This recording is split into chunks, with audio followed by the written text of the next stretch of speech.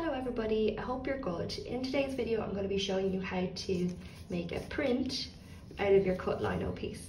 So we've already done the first two steps in terms of the lino where you transferred your image and then you cut your lino piece. So now we're on to the last and final step and the step where you can get super experimental with.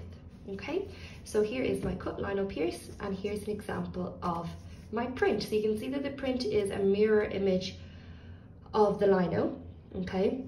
It's the opposite way around and this is quite a good quality print, okay?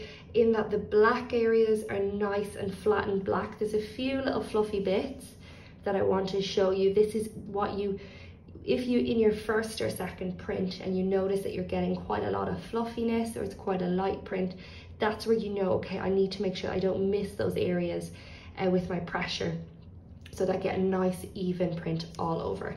Um, and that will make a little bit more sense when um, I show you the process.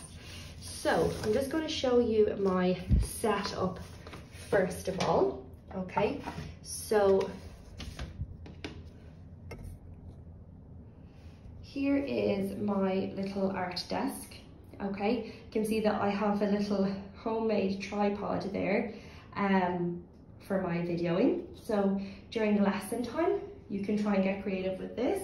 What I'm using is like a glass and these are like scissor holders from school and a ruler and I just pop my phone up on top there. So just above my desk, I have the HPL words I would like to focus on throughout this task. So we're gonna work on being hardworking. In particular, we're gonna look at perseverance. And that is perfect for this task because we wanna make sure that we do not give up, especially if this is new to you guys. You want to focus on keep going, keep giving it a go. The beauty of printing is that you can do it multiple times, okay? Persist in effort, okay? That's the same thing. Keep going, keep trying to get that good quality print. Work diligently, work systematically. There is a step-by-step -step process that I'm going to be showing you and that is the system that you need to follow, okay? And then the last thing is don't be satisfied until you have that high quality print that it's appropriate in its precision, okay? And it's the desired outcome that you want. Now we're also going to be looking at meta thinking again, our self-regulation. So this is, as I said before, really important, especially when we're working from home or you're in a different classroom and you're not with your art teacher. So you need to learn to be a little bit more independent in your artwork so you're going to monitor throughout the process and I will show you how you can do that. I'm going to show you ways that you can self-correct, especially when you evaluate one print and see, okay, how do I, how can I improve that in my next print? And then you can self-correct, okay? So here's my little setup, all right? What we have is a flat tray. So I believe that you guys received a um, flat white palette, okay, but any flat white palette will do.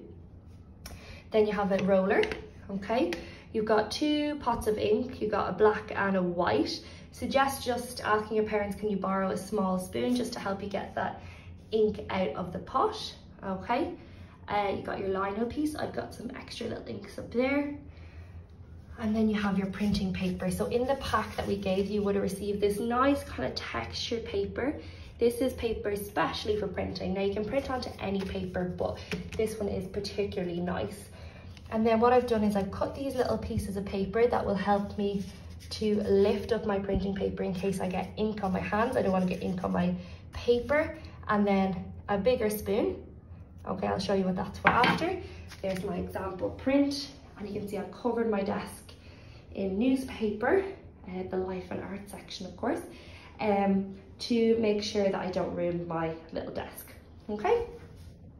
So I'll just, let's get ready and do our print. So in our tray, I'm just gonna move that out of the way. So in our little tray, what we need to do is get some of the ink out onto the top, okay? So always put your ink onto the top of the tray, not in the middle. And I'll show you why now in a sec going to use the bottom of the spoon to get it out because these pots are quite small. And that ink will wash off the spoon pretty good as long as you wash it pretty promptly. Okay, Now, so this little blob of ink at the top of my tray is called my ink well, okay? So it's like a well, like a, you know, if you go to the well to collect the water, that's where it stays, that's where you collect things, you keep that blob there. With my roller, okay, I'm just gonna dip into the ink well and I'm going to spread it across the tray, okay? The reason why I'm spreading it across the tray is so that I have enough room to make sure that I can roll it and get it evenly on my roller. So you don't want it to be too wet. You want to listen for a sticky sound.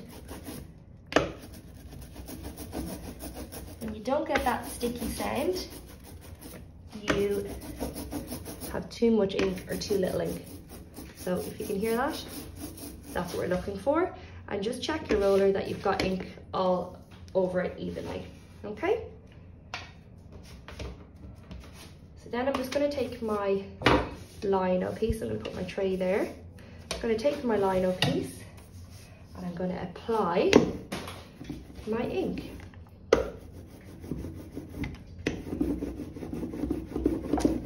Now, so learning from my first print, I wanna make sure that I get it nice and even around the edge. So you can see it's a little bit too faint here. So I go back onto my tray, covering my roller in ink. I'm just gonna make sure that I have everywhere. Dipping into my inkwell again to get a little bit more ink.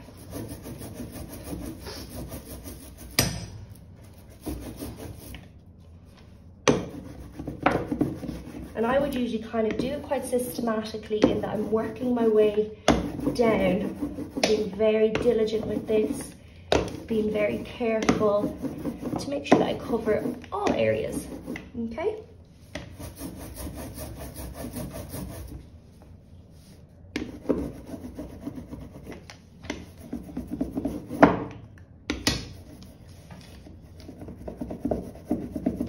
I'm just gonna give all one more roll and you should be getting, I'll show you in the light, that kind of effect on the liner with the ink, okay? So it shouldn't really be transparent anywhere, but there shouldn't be big blobs of ink either, okay? And then quite quickly, because you don't want your ink to dry too much, so I'm just gonna spread it out at the bottom there. Notice a few little blobs. So you wanna be quite quick. What I'm going to do is I'm going to pick up my paper with my little cut piece of paper because you can see my hands have gotten pretty inky, okay? Just to make sure that I don't get any smudges on my lino or on my printing paper. just gonna turn my around like that.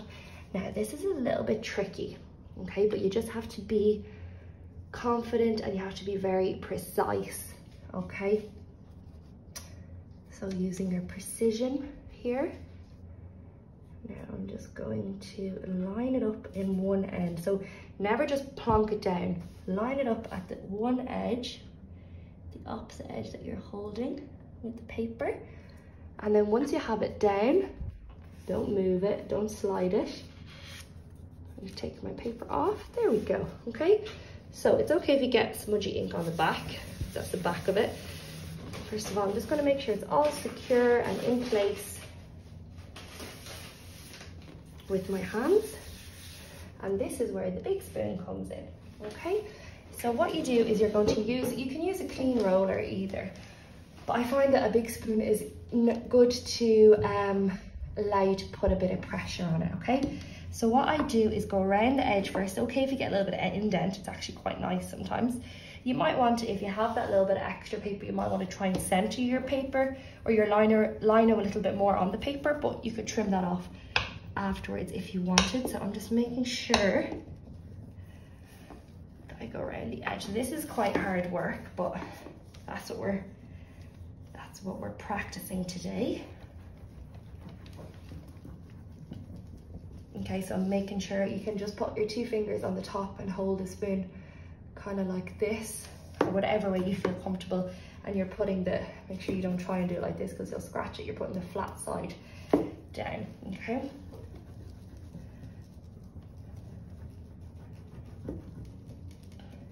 And you just need to work your way across. We want to get a high quality print. Is our desired outcome here.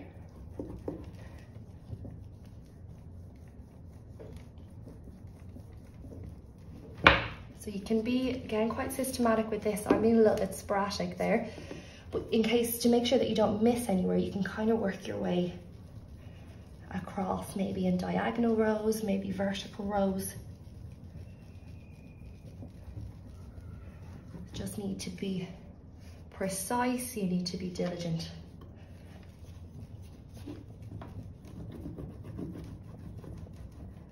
Okay.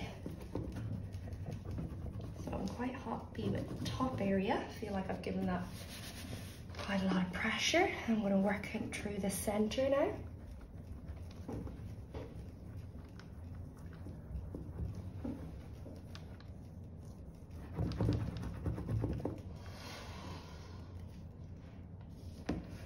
I just need to be persistent here to make sure that I get it right. There's no worse than just being like, oh, it's fine.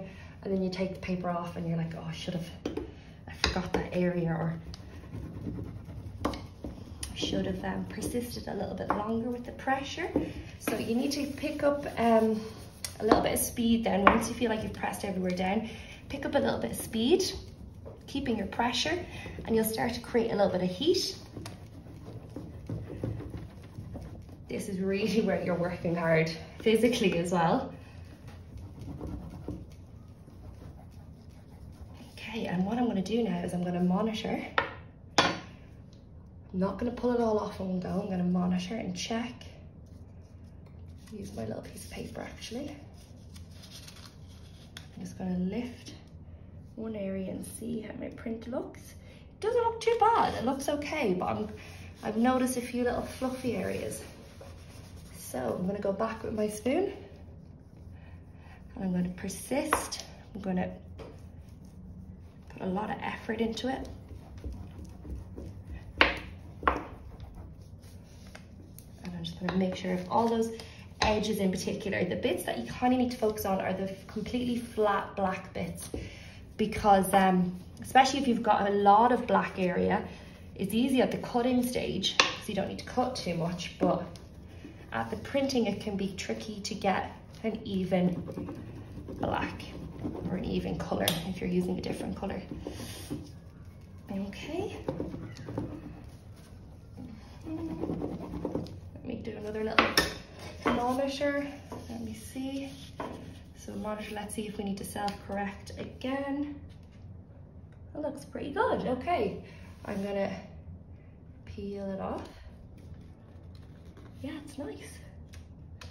And I love this type of art because it's kind of like a surprise, you know. And the big reveal, here is my print. Okay, so it's quite a good quality print, um, especially around the safety area. It's definitely an improvement from my last one in that area because I evaluated my last one. I noticed that some of the areas were a little bit fluffy at the bottom. So I really focus on those. Now there is some areas here in the center that are a little bit pale. So I would do a third print there and just make sure that um, make sure that my print comes out nice and evenly all over. Okay, so that's what you do at the end once you print, you self-evaluate and then you realize in your next print how you can self-correct and all of this can be then put into your notebook as you know, a record of your process. You can present each of your prints in your notebook or a photograph of the print with a bit of annotation on your reflection for each of those, okay? And um, so that is my two prints that I've done today and my lino piece, okay? And what you can do is you can just keep going, all right? So what you actually do is you can rinse off the lino very easily, all right? You just make sure that the ink is off, make sure that it's completely dry, that's the main thing as well, because uh, the ink won't take to it properly if it's wet. Make sure you dry it with a dark towel, okay? You don't want to be dirtying all your lovely towels at home. And what you can do is you can get experimental then. You can, you know, use white ink onto maybe black paper or colored paper. You could mix the white and the black inks together to get a gray, or you could have maybe the black on one end of the tray and the white here or the white on the other end and get a little bit of an ombre effect onto the lino and print that. So you can print onto different types of paper, newspaper, um, envelopes, um, colored paper, uh, anything at all. You can get super creative with it as well. Okay, so I hope you enjoy and good luck.